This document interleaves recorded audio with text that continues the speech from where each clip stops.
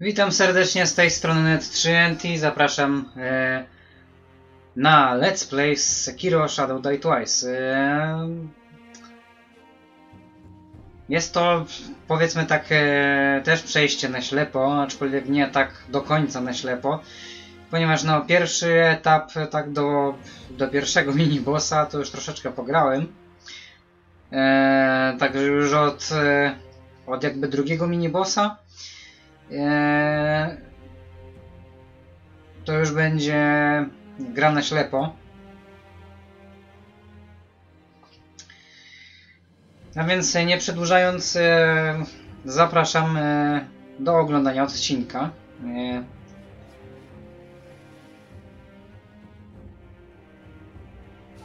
Tak, e, to jakby się tutaj fajnie ustawić, o tak chyba będzie dobrze. Mm. Oczywiście dialogi są po japońsku, e, napisy są po polsku. I dajemy nową grę. Mm.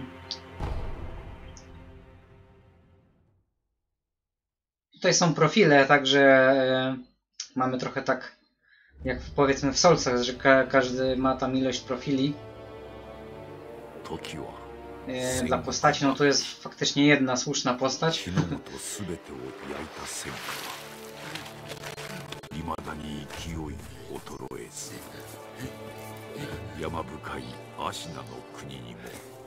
Ale jak widać mamy parę slotów, yy, także nie muszę, nie muszę zakładać nowego profilu na PlayStation, tak żeby pograć w grę yy, jako osobny, jakby osobny save, tak? Tylko mo mogę sobie stworzyć po prostu następny profil i z tego następnego profilu sobie e, właśnie grać tutaj przed wami na żywo. Aczkolwiek no to nie jest tak dokładnie na żywo, ale e, na ślepo powiedzmy.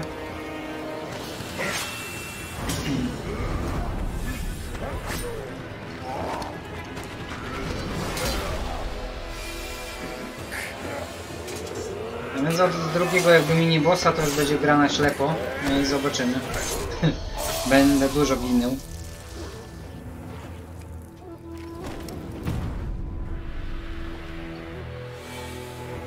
Ginąć będę tutaj sporo, e, sporo.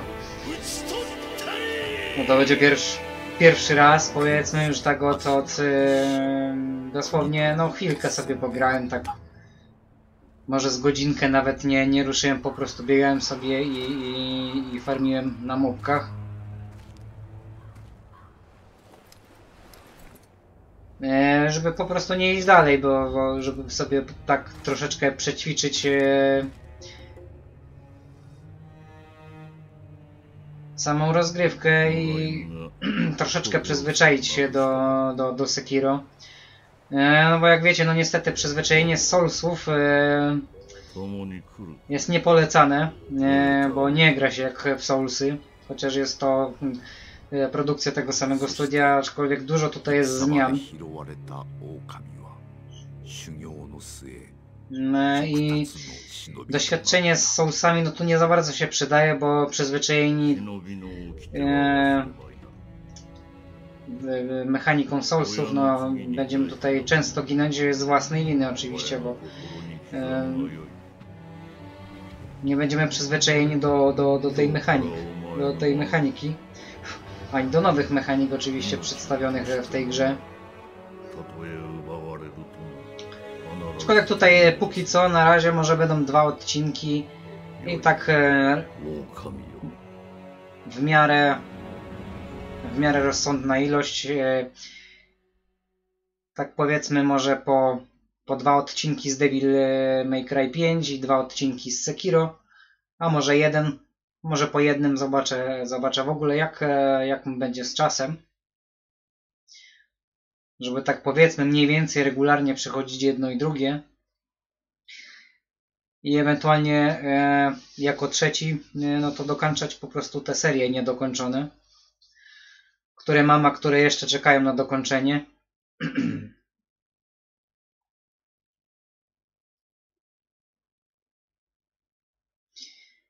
No i cóż. I lecimy. Mam nadzieję, że tutaj dobrze kamerę ustawiłem, żeby tutaj nie przeszkadzała i wszystko było 24 widoczne. 年芦名の国は斜陽にあり No niestety napisy są malutkie. 狼の忍びは 全てを失っていた育ての義父も守るべき主も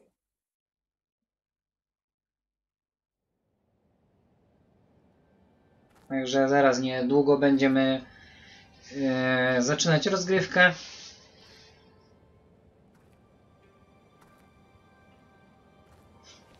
Muszę się jakoś tak ładnie ustawić. Tak troszeczkę ściąga mnie na prawą lub lewą stronę. Shinobio. Mezamete kudasai. Można sobie ustawić e, angielski dubbing, chyba jest też jeszcze niemiecki, jest parę takich, chyba z pięć. Chyba. Aczkolwiek ja wolę zostać przy takiej konfiguracji, jaka jest standardowa. No, ponieważ no... Angielski dubbing jest taki se. Nie. No, bardzo przepraszam. Eee... Nigdy nie lubiłem po prostu e, angielskiego dubbingu. No oczywiście, jeżeli to jest oryginalne, to jak najbardziej, tak? Jeżeli oryginalnym dubbingiem jest e, angielski, no to jak najbardziej.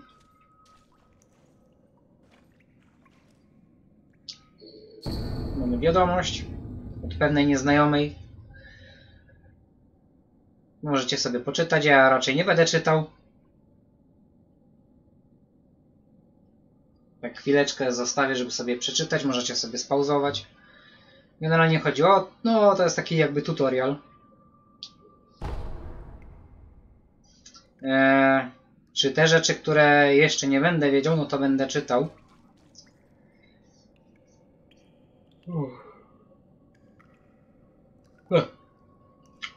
Hmm. Cóż, pierwsza rzecz, która się tutaj rzuca w oczy. E, No niestety na konsoli to gra chodzi w 30 klatkach, tak niepewnych 30. Czasami zdarza się takie chrupanie, ale raczej nie przeszkadza to za bardzo. E, Oczywiście na Xbox One X e, i na PlayStation Pro, no to tak powiedzmy, nie jest to 60 klatek na pewno, nie jest. Tak 45, 50 tak skaczące. Bardzo niestabilne 60 klatek bym powiedział. Także nie wiem jak to jest na Xbox One X. E, być może jest troszeczkę lepiej ze stabilnością klatek, aczkolwiek na PlayStation Pro no to jest 45 niestabilne. Także więc dosyć sporo skacze, no więc From Software mm, ma pewne e, ma pewne problemy z, z, ze stabilnością klatek, szczególnie przy 60. Oczywiście ja gram na standardowej wersji Playki. E, Jest to wersja PlayStation 4 zwykła, czyli ta mm, e, pierwsza wersja, model FAT tak zwany. No i co? No i tutaj możemy skakać normalnie w końcu. E, jak w slasherach. E, jeszcze nie mamy miecza. Mm. I możemy pływać.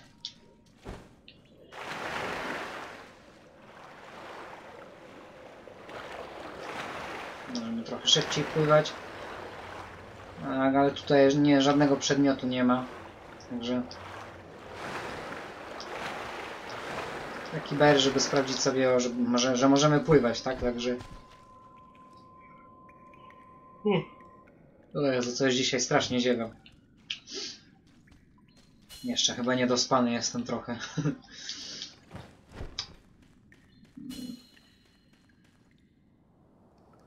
Tak, możemy się odbijać od ściany. Czyli powiedzmy taki bardziej trochę sla slasher niż taki RPG. Chociaż ma tam parę, e, parę elementów y, z, z RPG jak, jak zawsze. Tutaj też nic nie ma. No, możemy sobie poskakać co najwyżej. No właśnie stąd tutaj e, został nam zrzucony ten li list. No, dosyć tak kozacko skacze, tak dosyć wysoko.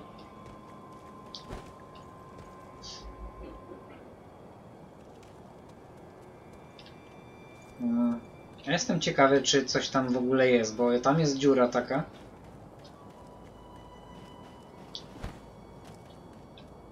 Ale chyba nic nie ma, mi się wydaje.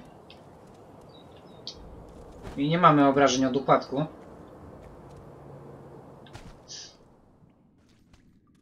Aha, czyli to jest po prostu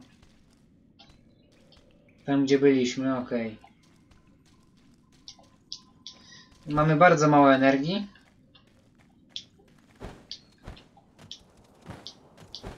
I mamy się przekraść.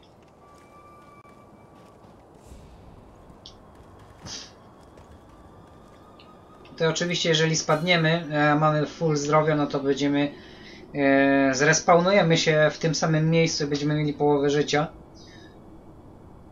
Także to nie jest tak, że w solcach, że od razu umieramy. No oczywiście możemy spaść z klifu, ale nie jest to aż takie frustrujące.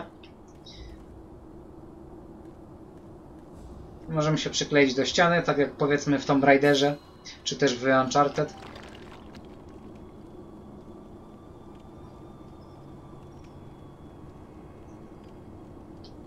Możemy się tak... E, idź, do, e, do celu niepostrzeżenie, chowając się w krzakach e, lub poruszając się pod podłogą. E, na razie nie masz miecza, skradając się unikaj wrogów, e, zmierzaj w stronę księżycowej wieży. Okej. E, Tuż przed wykryciem przez e, wrogów nad ich głowami pojawią się znaczniki ostrzegawcze. Okej. 江 Tutaj możemy sobie e, nawet podsłuchać e, rozmowę. Możemy się dowiedzieć jakichś informacji. Tu mamy trzech gości. E, Księżycowa wieża, czyli mamy tam się dostać, o właśnie tutaj.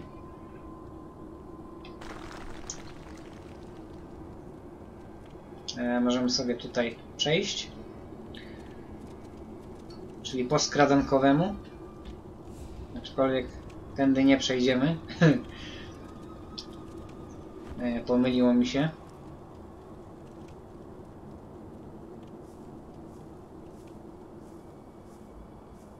Mm, Czy co prawda no, ta skradankowość jest e, opcjonalna oczywiście.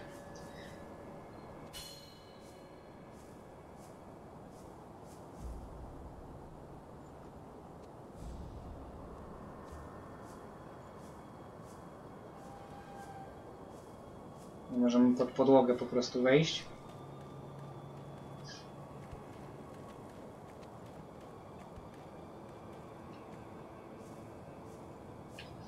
Tak, i mamy się dostać tutaj na tą wieżę. No więc e, każda droga tutaj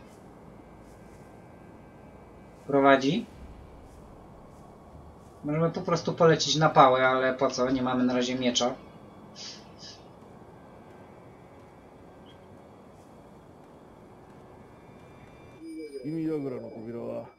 まっておるか閉まっておるが壁の穴はそのまま No właśnie, i dowiadujemy się, że, że została tutaj dziura. 他いらぬだろう Dziura w ścianie, przez którą możemy przejść. 通えるものなどあるまいよ Tak, dowiedzieliśmy się, em, że jednak potomek, którego mamy chronić, żyje. Więc idziemy go w tej chwili uratować. Ok, więc możemy sobie przejść. No takie ele elementy jakby zręcznościowe. Typowo dla takich gier jak właśnie Tomb Raider czy, czy, e, czy Uncharted. Czy też po prostu nawet Metal Gear Solid 5, tak, z takich skradankowych, e, więc takie podobne elementy znajdują się tutaj, aczkolwiek nie są one jakoś... No to nie jest taka typowa skradanka, chociaż oczywiście możemy, no bo w końcu to jest gra o ninży.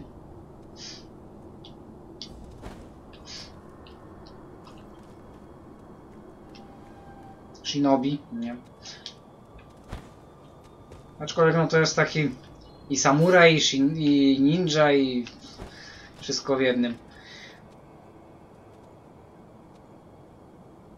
Okej, e, lew, lewa gałka, jeżeli wciśniemy L3, no to właśnie kłóca.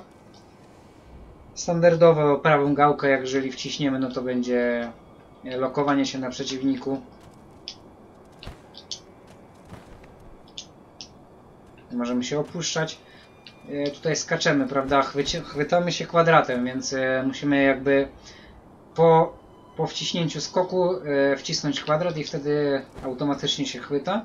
I możemy tutaj sobie przejść dalej. E, Naciś, naciskamy jeszcze raz kwadrat, no to e, podciąga się nam.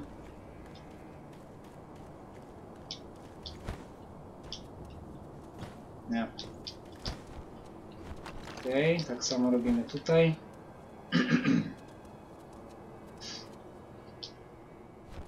No i mamy cutscenkę.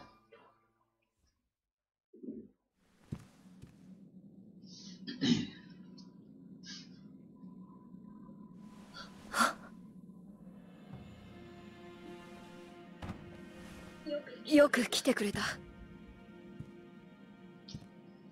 久しいな狼よお迎えに参上いたしました我が主うむ Oczywiście nagrywam w 30 klatkach, bo ta gra e, no, wchodzi i tak w 30, więc nie ma sensu po prostu w 60 klatkach to nagrywać. E, nie 表を widzę 上 po げよ prostu w tym sensu. Jeżeli gra faktycznie działa w 60, tak jak DMC 5, e, już chciałem powiedzieć DMC Devil May Cry. E, Devil May Cry 5 e, działa w 60 klatkach, więc e, no, z małymi dropami oczywiście na moim PlayStation 4 standardowym. E, no więc jak najbardziej nagrywam w 60 klatkach. E, a grę tak samo jak, jak Bloodborne, jak Dark Souls. 3, jak e, no i te poprzednie części oczywiście na, na, starsze, na, na starszą konsolę nagrywam po prostu w 30, bo to nie ma sensu nagrywać w trzy- w 60. E, Kusabi Maru to jest katana otrzymana od Kuro, boskiego potomka, stanowi dziedzictwo rodziny Hirata, która wywodzi się z młodszych synów e, rodu Ashina i tak dalej, i tak dalej. Se- sobie dalej poczytacie. Zostawiam na chwilę. Możecie sobie dać pauzę. Ok, mamy już w końcu swój miecz. Możemy się bronić. E, I cóż, wszystkie gry, które po prostu będą chodziły w 60 klatkach, e, będę nagrywał w 60. Jeżeli ben, będą to. Będzie to 30 klatek, no to będzie 30 po prostu bo nie ma sensu po prostu tracić, tracić na jakości, e, bo muszę niestety przy mojej nagrywarce. Muszę po prostu obniżyć rozdzielczość do 720p. Oczywiście przez OBS-a przechodzi to w, w 1080p, tak? Także troszeczkę jakość, jakość jakby obrazu się pogarsza, tak zmniejsza się, wiadomo, e, bardziej widać e, bardziej widać te schodki, tak? I jakość, e, widać, że jakoś troszeczkę się zżyna.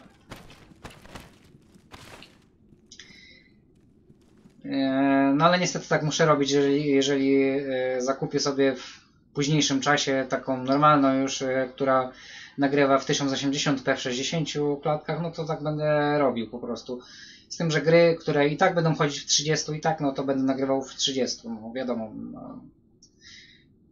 Nie ma sensu nagrywać w 60 klatek, skoro i tak gra pokazuje 30 i tak no jest jest tak, a nie inaczej. No niestety większość gier już teraz na, na zwykłym e, na zwykłym PlayStation 4 wchodzi w 1080p i w 30 klatkach, już takie najnowsze, najnowsze. Także nie, nie, mam, nie mam co liczyć na więcej klatek. No chyba, że właśnie takie, takie produkcje jak Devil May Cry, czy te produkcje, które oczywiście wymagają 60 klatek, no to te są robione e, oczywiście z obniżonymi detalami i tak dalej, i tak dalej. E, tutaj możemy podnieść. E, mamy granulkę, czyli lecznicze granulki, które powoli przywracają żywotność.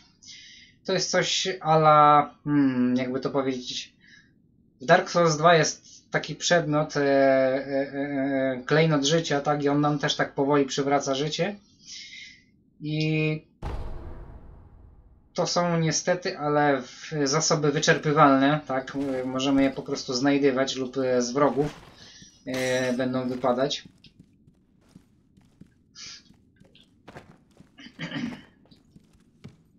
E, no i pierwsza rzecz. Mamy... E, teraz na razie nie pokażę, widać na razie się tutaj nie aktywowało. 一つそなたに渡したいものがある受け取ってくれ No, Okej, okej, to jeszcze musimy porozmawiać. 薬水のひょうたんだこれで傷を癒してくれ Okej, dostaliśmy tykwę leczniczą. E, czyli taki powiedzmy odpowiedni gestusów e, w Dark Souls. E, któ- które po prostu e, odnawia się さてそなたの体 e, wraz z, z, z odpoczynkiem w その kapliczce 命とは lub też przy, przy posążku Buddy. 覚えておらぬのか E, czyli takim odpowiednikiem e, punktu kontrolnego znanego z Soulsów, tak? E, Arch, Archstone, czy też e, この bon, 足の e, 城を出さ Bonfire, ねばならぬ 御意 czyli ogniska lub też e, arcykamienie, tak z Demon 城 Souls, czy też lampy z Bladborna. Z tym, że tutaj to są punkty kontrolne i nie przenoszą się, taka kapliczka, no to może być to podobne do Nio. To jest takie bardziej, e, bardziej samurajowate, tak, Nio. Aczkolwiek Nio to jest bardziej Souls e, niż, niż, niż e, slasher. Aczkolwiek dla mnie Sekiro, no tak się wydaje, takim połączeniem Ninja Gaiden. E, i, i Tenchu niż, niż, niż takich Soulsów, chociaż też ma elementy takie Soulsowe. A, aczkolwiek nie jest to do końca właśnie gra Soulsowa i ma dużo, dużo innych mechanik całkiem. Nawet tu e, po części umieranie jest troszeczkę inne, ale to już, to już później zobaczymy. 狼よ無理はするな Doka, dobrze, świetnie. Chcę w końcu otworzyć drzwi.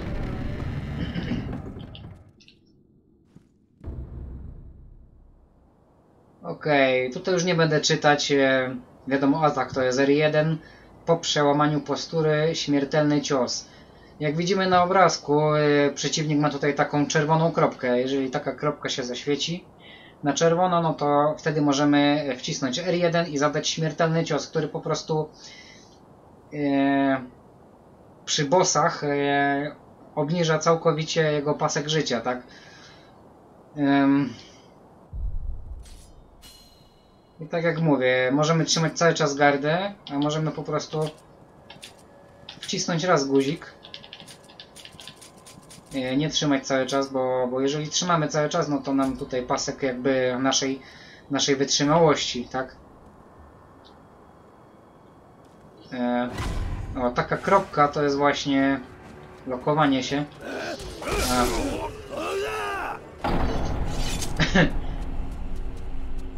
Aj, skupiłem się tutaj za bardzo na gadaniu. Tak, żeby... Właśnie pracuję na... czy pracuję.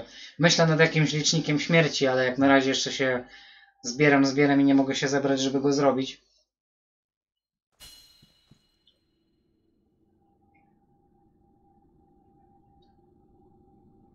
Mm.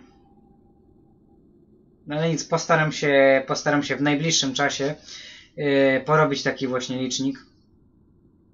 Jak już go zrobię, no to już go po prostu będę stosował. Póki co, no na razie nie będę go stosował. A nie będę też specjalnie zapisywał tego.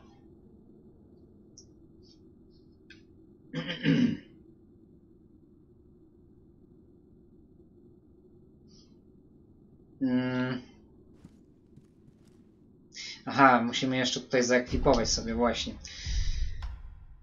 E, no Mamy ile? 5 slotów, tak, na, na jakiś przedmiot. Mm, Tykwa lecznicza. Granulki. Hmm. Może granulki na razie sobie odpuszczę, nie chcę ich tutaj stracić specjalnie. Ale tutaj mamy taką kropkę, to jest lokowanie się właśnie na... Nie. No właśnie, teraz... Teraz właśnie zrobiłem taki pojedynczy klik, e, klik e, L1, tak? Czyli trzymanie gardy, to jest takie odbicie. Mm. Jeżeli właśnie odbicie e, zakończy się sukcesem, no to pojawia się taka właśnie czerwona kropka, czyli przełamanie gardy przeciwnika i możemy zadać wtedy śmiertelny cios i zabić tego przeciwnika od razu.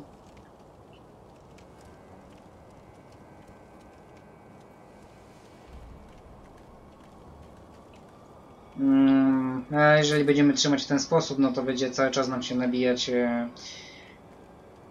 e, pasek wytrzymałości po prostu. E, No i jeżeli będziemy już mieli full,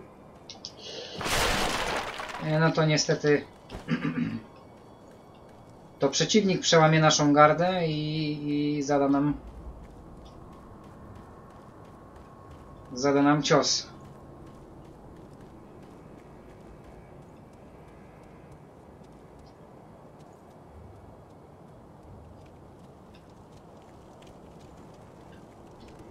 Tutaj możemy wypróbować. Eee, czasami bezpardonowy atak to za mało, żeby przełamać postury wroga, odbijanie ataków, to właśnie to jest L1, tak?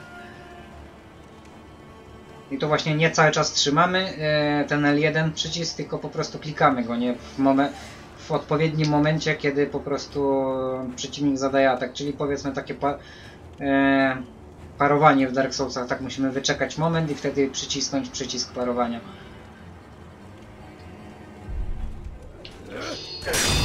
No właśnie, możemy szybciutko zakończyć żywot przeciwnika.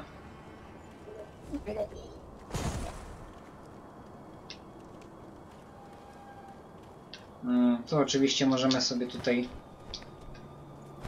podziałać troszeczkę po cichu.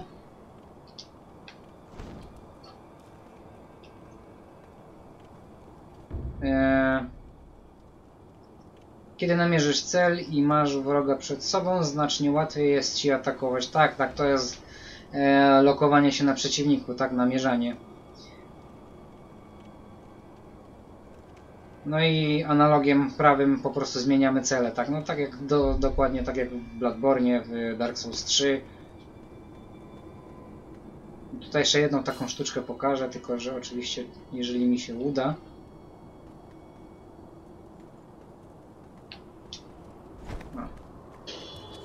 Nie udało mi się z góry.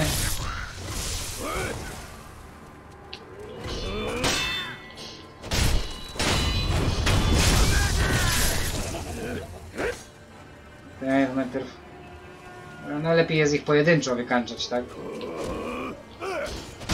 Tu mieliśmy taki ładowany cios, e, musimy przytrzymać R1.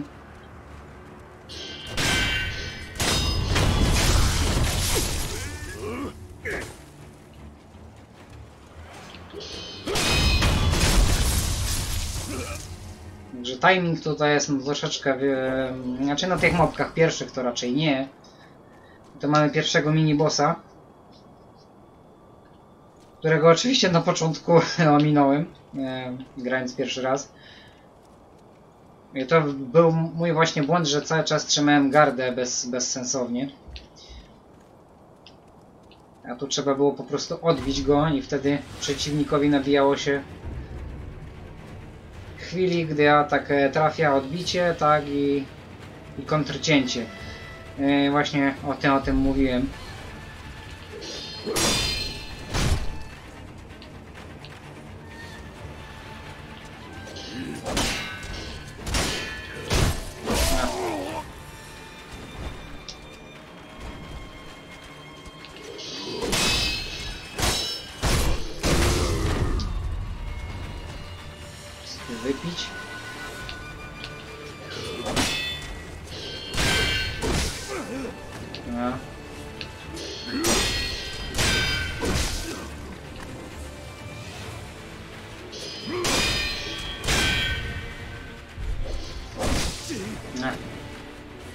Oczywiście, no za pierwszym razem mi się nie uda.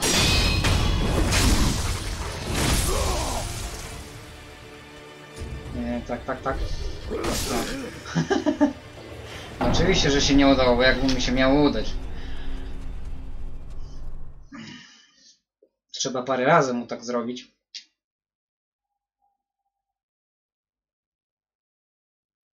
Także spróbujemy jeszcze raz. Yy, oczywiście wszystkie mopki yy, się respawnują, więc będziemy musieli po prostu każdorazowo tak zaczynać. Teraz działanie po cichu.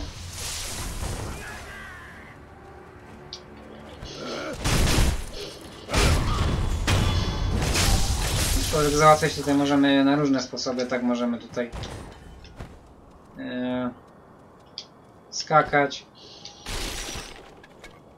uchylać się. Oczywiście rolować nie możemy, dopiero jak nas po prostu e, powali przeciwnik, to dopiero wtedy możemy zrolować.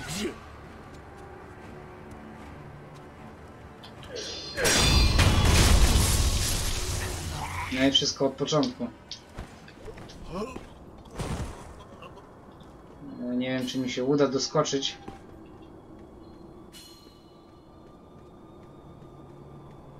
A. Możemy też po cichu. Aczkolwiek tu mi się nie za bardzo to udało.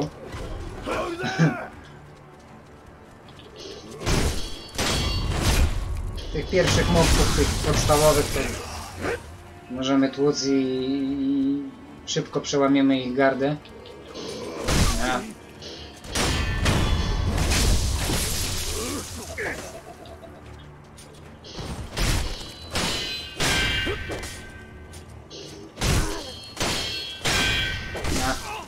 Ciągle zapominam. Jeszcze, jeszcze mam to przyzwyczajenie z Soulsów.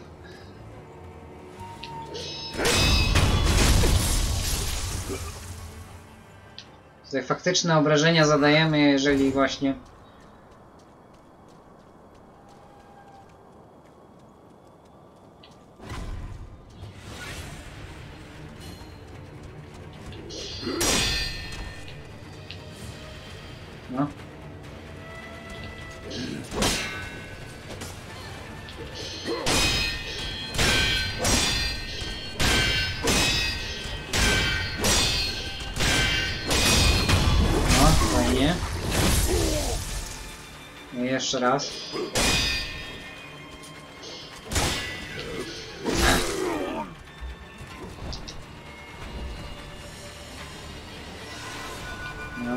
No, sprawdźmy.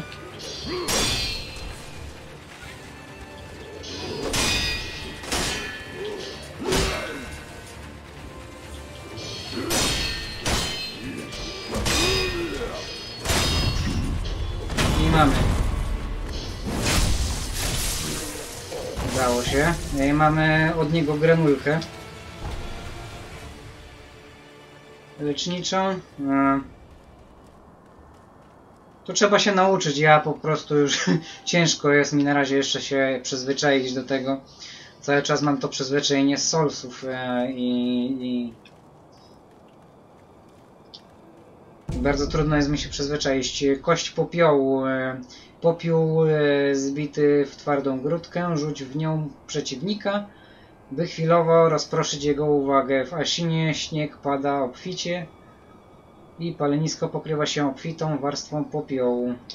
Znaczy taki przedmiot, powiedzmy, e, rzucamy mu popiół w oczy, on na chwilę traci, e, traci orientację co się dzieje, no i możemy mu wtedy zadać jakieś parę ciosów e, dodatkowych.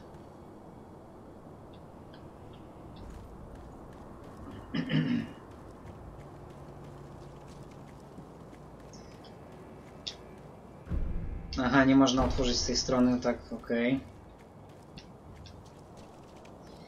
E, Więc co, no może zakończymy tutaj w tym miejscu e, i zaczniemy już od następnego odcinka w tym samym miejscu. E, I będziemy ciągnąć dalej, tak, do, do drugiego bossa, ewentualnie. I cóż, na razie cześć, pa, jeżeli się podobało, łapka w górę, jeżeli nie łapka w dół, subskrybujcie, jeżeli chcecie oczywiście. No i taka wiadomość zbieram na 100 subskrypcji. No i fajnie by było, gdybym je zdobył, ale no cóż, no nie narzekam. Będzie jak będzie, zobaczymy jak długo będę zbierał te 100 subskrypcji. Mam nadzieję, że w miarę szybko, ale aczkolwiek nie, nie nastawiam się na jakoś wow, wow szał. Także na razie cześć i do następnego.